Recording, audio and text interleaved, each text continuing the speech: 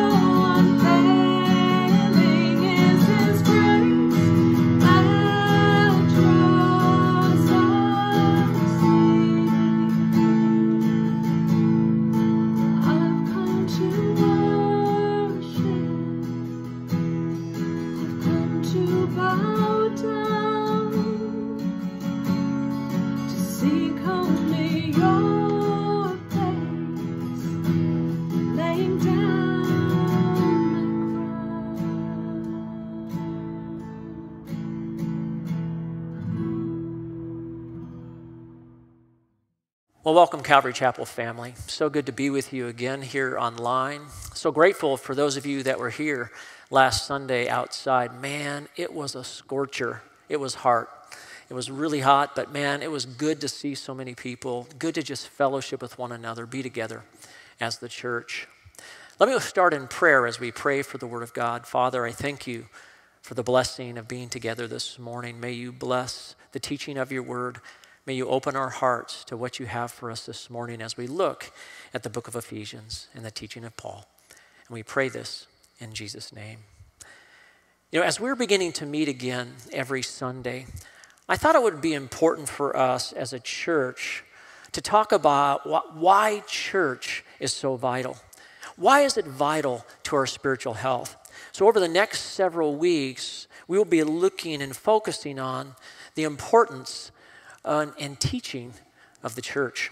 Now, if I was to ask you, what is the church? What would you say? Now, some people might say that that church is the building that we meet in. You know, it's a place to go to meet people. It's a place to have my social needs met. Others might say that church is a place that you go to get something. You know, you go to church to get spiritual nourishment. You go to church to, to get taught the Word of God. You go to church to, to get worship. It's a place almost like going to a theater where you go to, but it has a spiritual emphasis.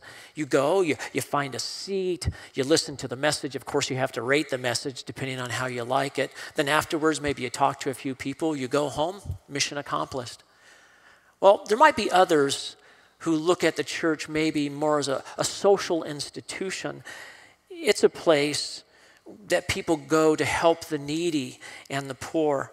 It's a place where, come, where people come to have their practical needs met. I mean, there's so many opinions, so much mis- misunderstanding. But today, I want to focus on what the Bible says, because the Bible is God's Word.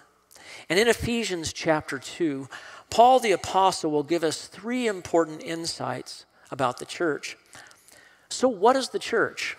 The first insight that Paul gives us is the church is a people, not an organization or a building. Church is about people, the people of God, that God has brought together and He has made them into one.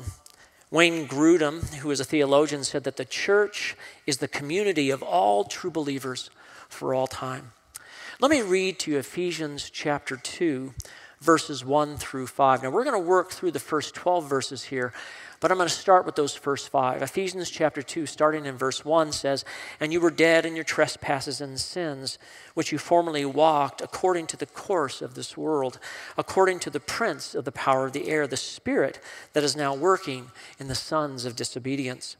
Among them, we too all formerly lived in the lust of our flesh, indulging the desires of the flesh and of the mind.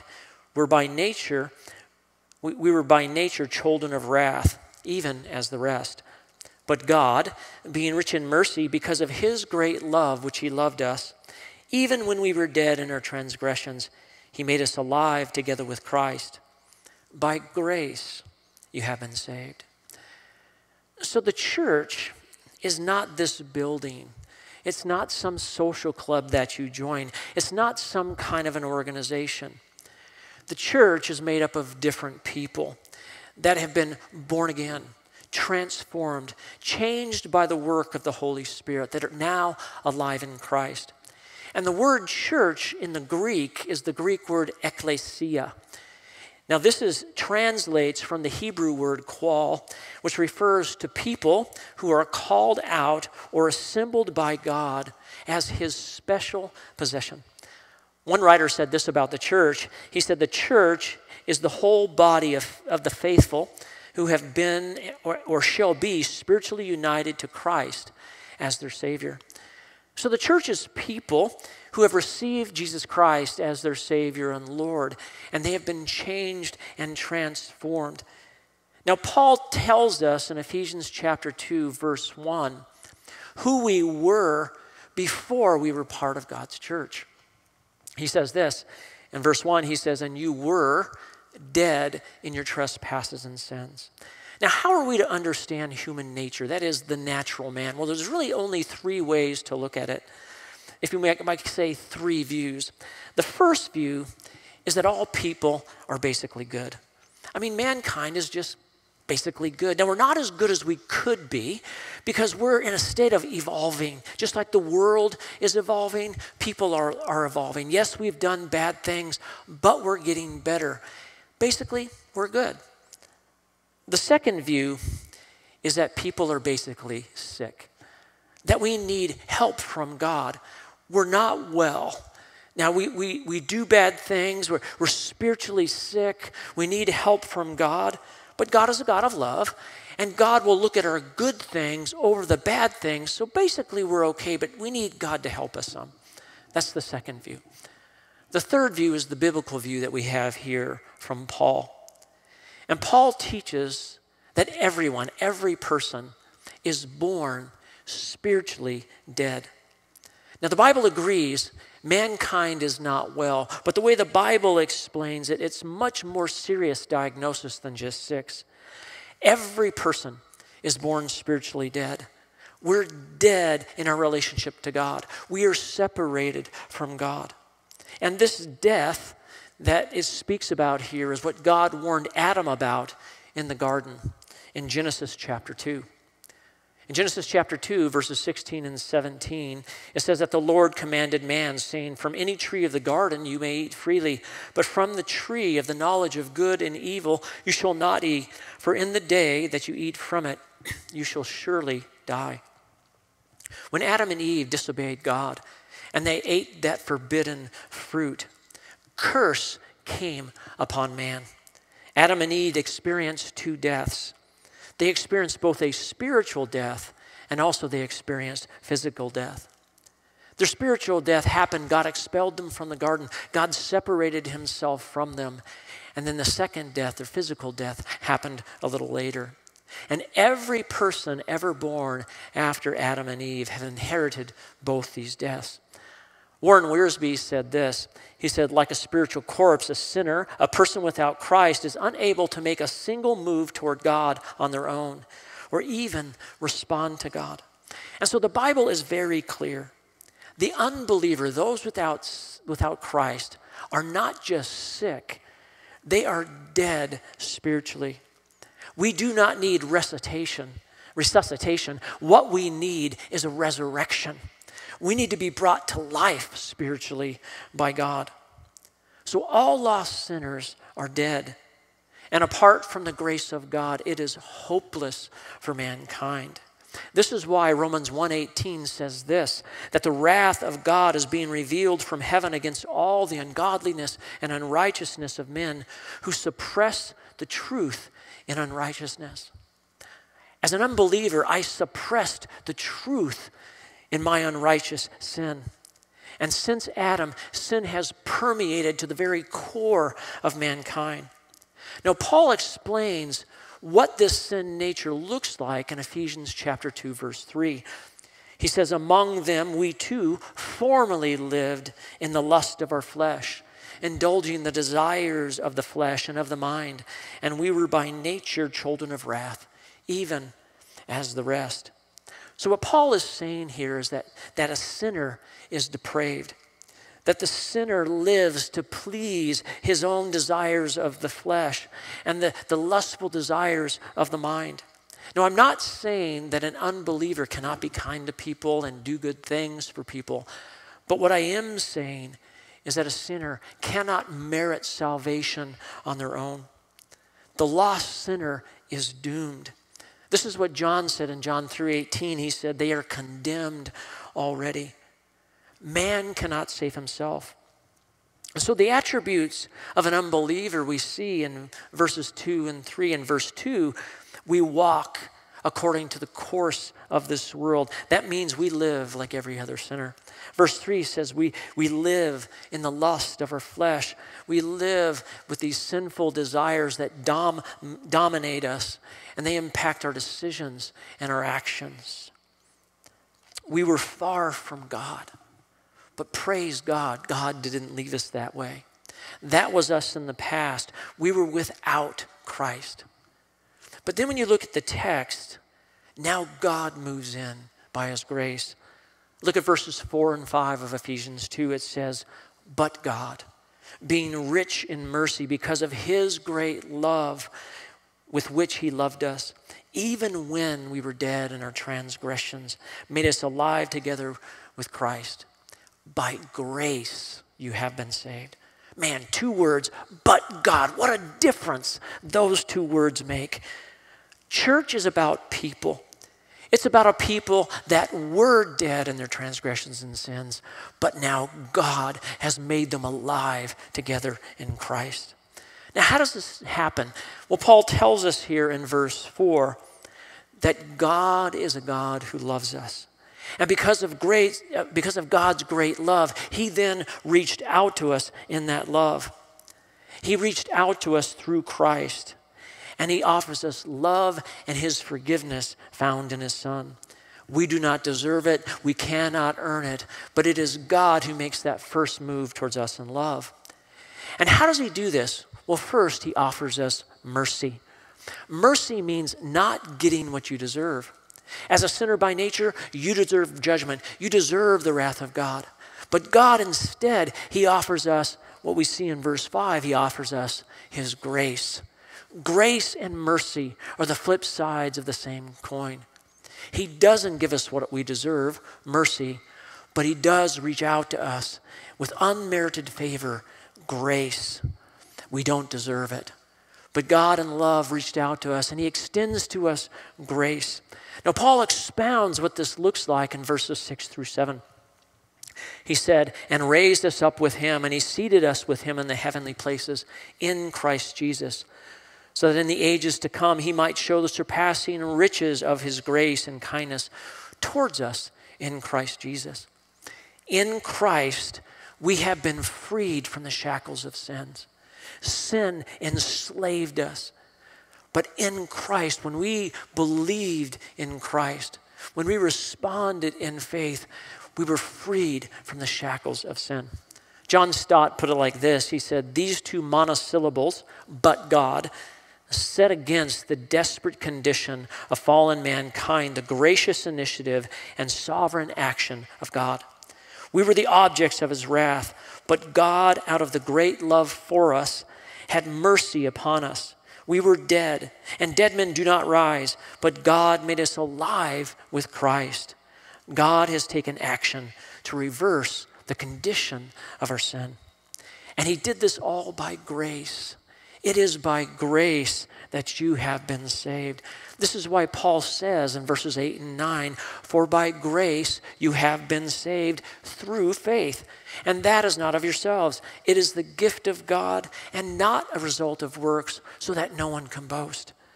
Salvation is offered freely as a gift. And God is calling us by His grace to respond to this gift of His Son, Jesus Christ. Jesus came and he lived the perfect life we cannot live. And then he died on the cross. And then he was buried. And then he rose from the grave. And we are called to respond to that great gift by faith. And when we repent and believe in Christ, spiritual change takes place. We are transformed from who we were, sinners by nature, into now being part of God's church part of his family.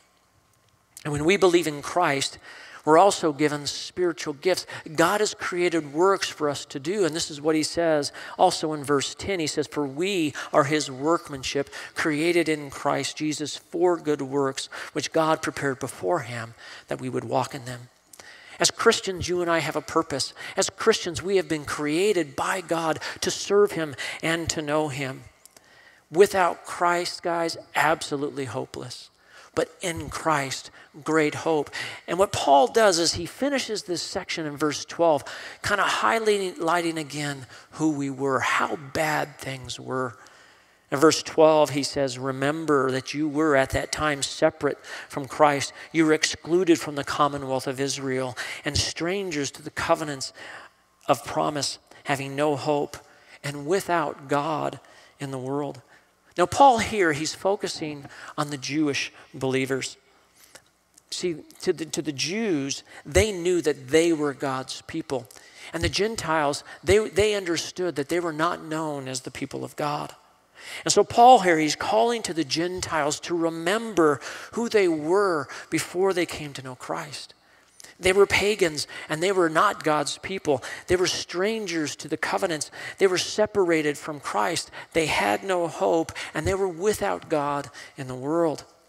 But in verses 4 through 10, we see, we see who we are now in Christ. We've been shown love and we've been shown mercy. We've been made alive together with Christ. We have a secure future. We've been raised up with Him in the heavenly places. And we have been saved. We have been rescued by God's grace. And now we have a job to do, a purpose that have been created for us in Him. Now, as a way of illustration, I have this bowl of grapes sitting right here. Now, these grapes represent who we are in Christ. When you look at the fruit of the grape, this can represent the works or the service that we do for Christ. And if you notice, each grape is maybe a little different size, a little different shape. We're all unique in the kingdom of God. And so the, the fruit of the grape represents the, the works that we do. And then the stems that connect that fruit are really just who we are. We are people of God, and we are connected to the vine. And the vine represents Christ. We are the fruit of his labor, and that labor happened on the cross. We were adopted into his kingdom, part of the family of God known as the church. And as long as we remain abiding in Christ, we will thrive and will continue to produce fruit. But if we pull away from Christ, if we don't know Christ and seek Christ and live for Christ, we'll be kind of like what happens to fruit when it separates from the vine will be like the raisins that many of our kids love to eat. Our faith will become small, our hope will shrivel, and we will become weak. But in Christ, we're strong. And in Christ, we're part of His church. So, that first insight that we see this morning from Ephesians 1 through 12 is that the church is a people, it's not an organization or a building. The second insight is that the church is a divine creation, it's not a human invention. Just as the conversion of a sinner is the work of God, so is the people of God coming together, being united as one in Christ. Now, I'm going to be looking at verses 13 through 18, but I want to look at the first three verses, 13 through 15. Let me read that. It says, But now in Christ Jesus, you formerly were far off and have been brought near by the blood of Christ. For he himself is our peace, who made both groups into one and broke down the barrier, the dividing wall, by abolishing in his flesh the enmity, which is the law of the commandments contained in the ordinances, so that in himself he might make the two into one new man, thus establishing peace. Now, when you hear people talk about the church, Many people will talk about it as kind of a voluntary organization, you know, where people choose whether or not they're going to be a part of it, kind of like they would choose whether or not they're going to be part of a club. But when the Bible speaks about the church, it speaks about its origin as coming from God. The church is a divine creation. But the church, it has its roots in the Old Testament, and it cannot be understood without understanding that Old Testament background. Now, again, that, that word church in the Greek is ekklesia, and it translates from the Hebrew word qahal, which refers to a people who are called out by God as his special possession. And the idea is a called out people, people who belong to God. And we know that, that in the, the Old Testament and in the New Testament, there are people who are called out to God. In the Old Testament, the called out people were the people of Israel. And it started with Abraham.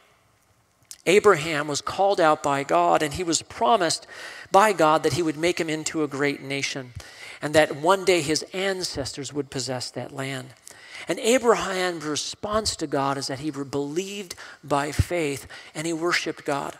And we see the same thing and the same pattern in dealing with Abraham's son, Isaac, and also with his grandson, Jacob. Now, Jacob led the people of Israel to the, to the land of Egypt. And they were enslaved there, and there they lived for 400 years. And then God called out a man by the name of Moses. And he was to free the people from that land, and he was to take them to the promised man, land, it tells us in Exodus chapter 3. Finally, there was also a call and a promise given to the people of Israel from their Babylonian captivity. And they were taken out of captivity and brought back to the land, it tells us in Jeremiah 16. Now, the church is also made up of people who are called out by God. The church is founded in our Lord Jesus Christ, and its people are called out by the work of the Holy Spirit. But the church is made up of people of every nationality, every kind of race. The church has its beginnings in Acts chapter 2. It was on the day of Pentecost, and God moved in power of the Holy Spirit. And He came upon the disciples, and He filled the disciples. And when He did, they began to speak in tongues. And the people in Jerusalem that heard Him speaking in tongues thought that maybe they were drunk. And so Peter, he stood up, and in Acts chapter 2, he preached his first sermon. And Peter said this in Acts chapter 2, verse 14.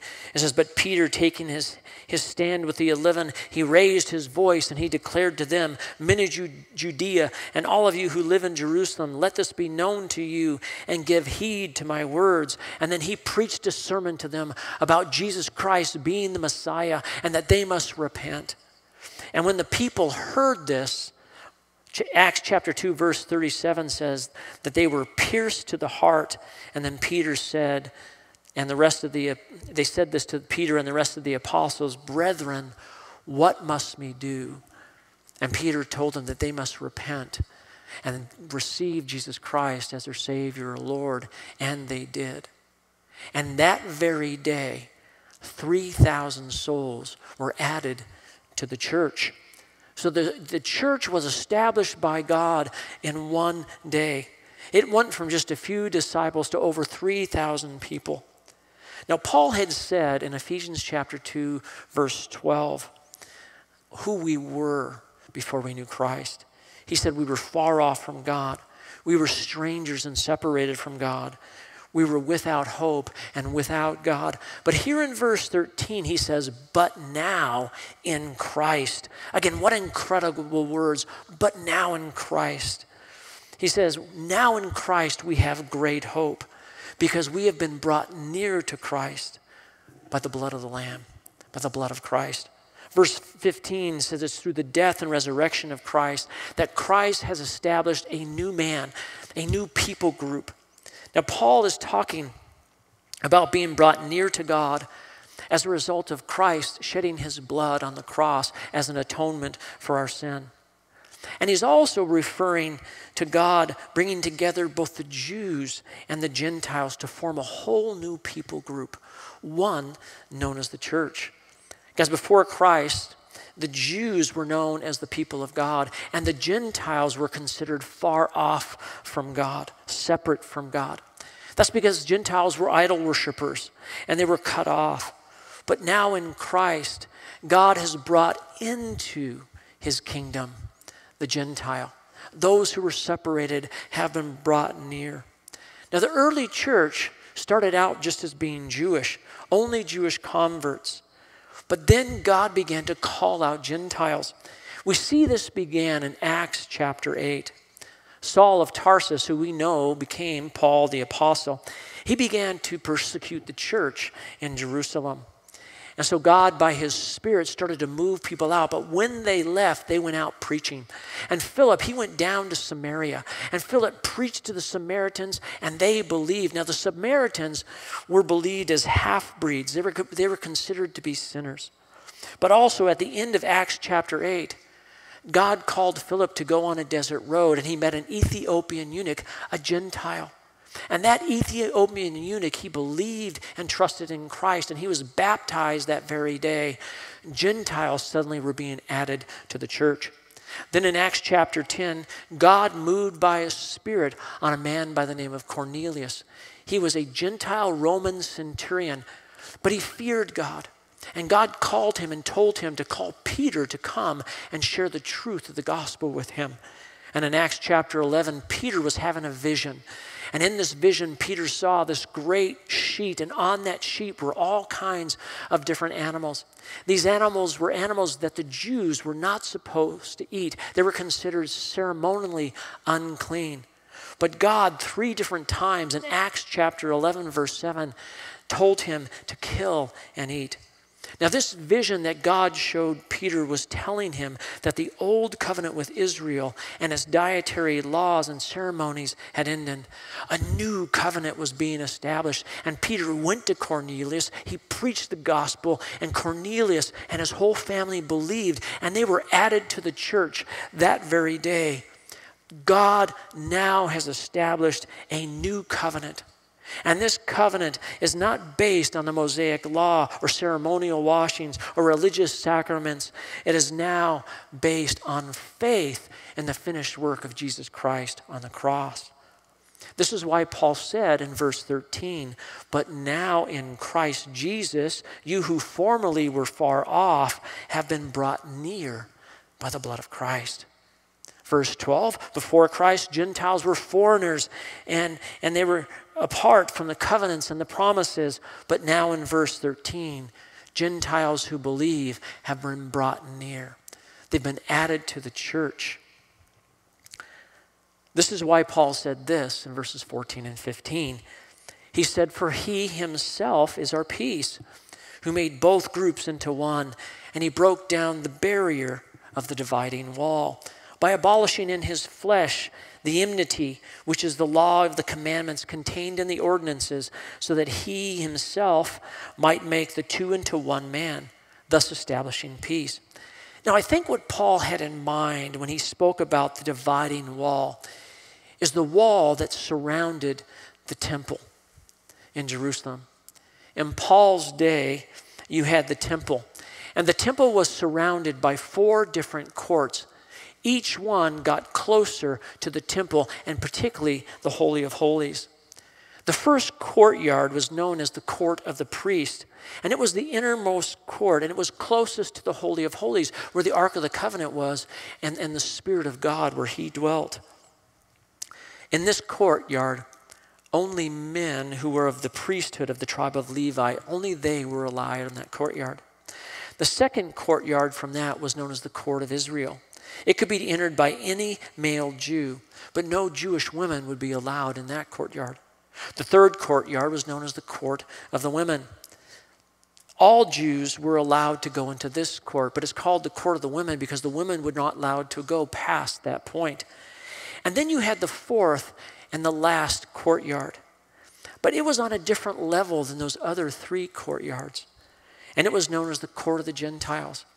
And to get to the court of the Gentiles, from the court of the women, you would have to go down five steps. And then there was a five foot wall that went around the whole perimeter of where the temple was. And then you had to go down another 14 steps. And it was at that level that was the court of the Gentiles. It was totally separated by a wall and by space. This wall was a visible symbol of the enmity between the Jews and the Gentiles. One writer said this he says, In all of ancient world, no wall was so impassable as the wall between the Jew and the Gentile. But now Paul writes in verses 14 and 15 that Jesus is our peace. And he now unites both the Jew and the Gentile into one. He has destroyed the barrier in the work of Christ. Jesus has established peace. First, peace with God. We were estranged from God, but now He reconciles us to God. Then, peace with our fellow man. But that peace can only be established by the blood of Christ. And He reconciles them both on the cross. This is what he said in verse 16 of Ephesians 2. He says, And that they might be reconciled, them both into one body of God through the cross by having put to, put to death the enmity. Now, enmity means hostility or hatred. The church is a divine institution that is created by God through Christ. bringing people together from every tongue, tribe, and nation. And whatever enmity there was, it has been destroyed, and peace has been brought in because Christ Himself establishes that peace. True peace can never be established outside of Christ. And it just makes me think today there's so much division on so many fronts. People are divided politically, racially, morally, economically, religiously. But in Christ, peace is established. Is it established with God and is established with others that know Him? Ultimately, mankind's greatest problem is with God Himself. And this is where where Paul ends it here in verses 17 and 18. He says, And he came and he preached peace to you who were far away, and peace to those who were near. For through him we both have our access in one spirit and the Father. Jesus Christ preached peace. That peace is established through him, first with God, then with our fellow man. This is why Paul wrote that there is neither Jew nor Greek, there, there is neither slave nor free man, there is neither male or female. You are all one in Christ Jesus. So the church is not based on ethnic origin.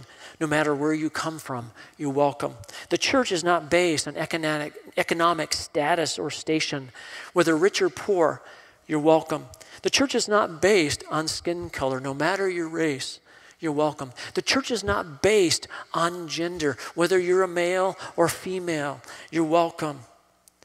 Jesus Christ is peace. He has broken down the dividing wall, and in Him we become one. As a way of illustration, I was thinking again about the temple. You know, when Jesus was hung on that cross, and he was, he, towards the end, he said, It is finished. Understand that day was Yom Kippur. Yom Kippur was when the high priest could go into the Holy of Holies and, and he could make a sacrifice for the sins of Israel by sacrificing an unblemished lamb. And at the moment that that high priest was taking the life of that lamb, Jesus was breathing his last and saying, Father, into your hands I commit my spirit. And it was at that moment when Christ breathed his last, that in that very temple, that veil that covered the Holy of Holies, where that high priest stood, that veil was torn from top to bottom. And that veil represented the old covenant with Israel of, of the sacrifices and its ceremonies. And it's a symbol that all that is abolished now. And now we have a new covenant. And this new covenant is in Christ. And those who believe in Christ now are his people. The old is gone and the new has come. And now we are God's people. And we are known as the church.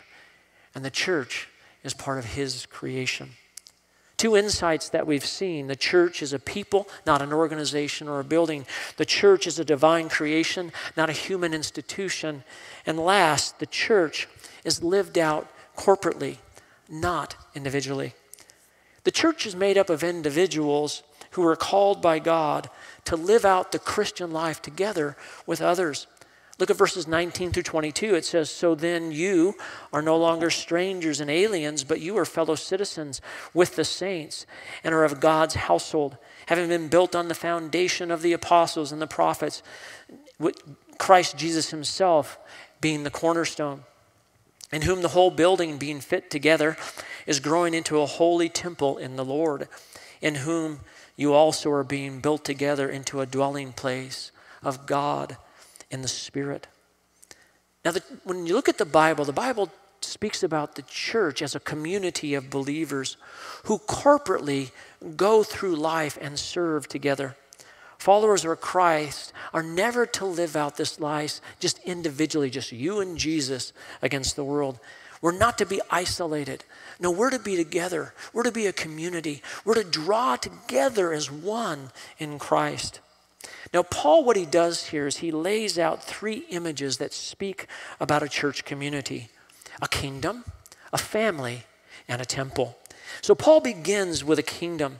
He says, We are no longer strangers or aliens, but we are fellow citizens. We are saints of God's house. Israel has been a chosen nation. But as a chosen nation, they rejected the Redeemer that was sent to them in Jesus Christ. And when they rejected them, God chose another nation. Now, Jesus said this in Matthew 21, verse 43, to the religious leaders. He said, Therefore I say to you, the kingdom of God will be taken away from you and given to a people producing fruit of it. That people that are fruit produ- producing is the church. It is a nation of every tongue and every tribe. All believers, regardless of our national background, now become part of the nation of the kingdom of God. And this is what Jesus preached. He said, The time is fulfilled, the kingdom of God is at hand. Repent and believe in the gospel. That's Mark 1, verse 15. So the kingdom of God now is made up of people from every nation, every tongue, every tribe. Now, Peter even called God's people a nation.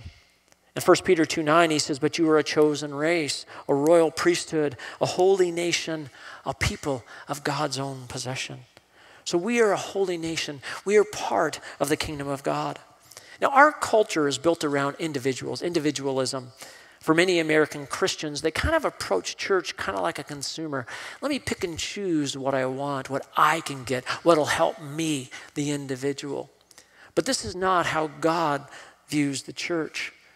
God views the church that we are part of his kingdom, all of us.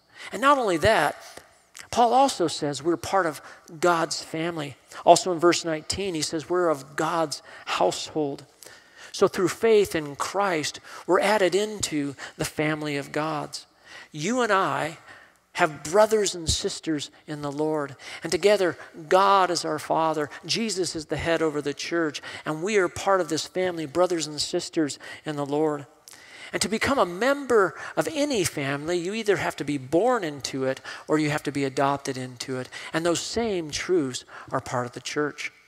Jesus told Nicodemus that you must be born again if you're going to be part of the kingdom of God. And we also know that Paul the Apostle wrote in Romans 8, verses, verse 15, that we are adopted into God's family. Listen to what Paul said in Romans 8:15. He says, "For you have not received a spirit of slavery, leading again to fear, but you have received a spirit of adoption as sons, by which we cry out, Abba, Father." In Christ, we have been born again spiritually, and we've been adopted into God's family. And a healthy family, it, it supports and, and lives life together. And this is what the church is to do. We're to live life together as a community. And this is what Paul says in verse 20. He says, he says, having been built on the foundation of the apostles and the prophets, Christ Jesus himself, the cornerstone. Now, what Paul is doing is he's shifting from a kingdom to a family, and now he's looking at the temple. And when I think about the temple, it's made of many stones, and each of us are a stone making up that temple. But that temple sits upon a foundation. Now, the book of Genesis, God walked with his people. But in the book of Exodus, God decided to dwell with his people. In the wilderness wanderings, he dwelt in a tabernacle. When they came into the promised land, he dwelt in the temple. But then they sinned against God and they rejected his Messiah, and his spirit departed. But God came back in in the life of Christ. But they rejected him as the Redeemer. And so God no longer lives in temples made by man. Now he dwells in the hearts of men. And the foundation structure, he says, is of the apostles and the prophets. Guys, that is the Word of God. That is the truth. The church rests on the truth of God's Word. And the chief cornerstone is Jesus Christ. Jesus is the foundation, He binds the structure together. And we are called out to live this earthly existence as a community of God's people. We're part of his kingdom. We're members of his families. We ourselves have the Holy Spirit dwelling in us as the temple of God. You know, I have been so fortunate with my family to be a part of this church family. We've been part of this church since 1999. And some of you have walked with me through some of the most difficult parts of my life. When my dad passed away from a heart attack, when my brother was diagnosed with Alzheimer's and died seven years later, some of you were with me through some of those toughest times. And I have laughed and had such good times with many of you over the years. And I've walked with many through you, through your difficult times. Guys, we're a family. And I am closer to some of you than even some of my own uh, siblings that I know. We're a family. Now, if you're part of this church and you don't view it that way, you can. Because God has designed the church that we're in it together as a community.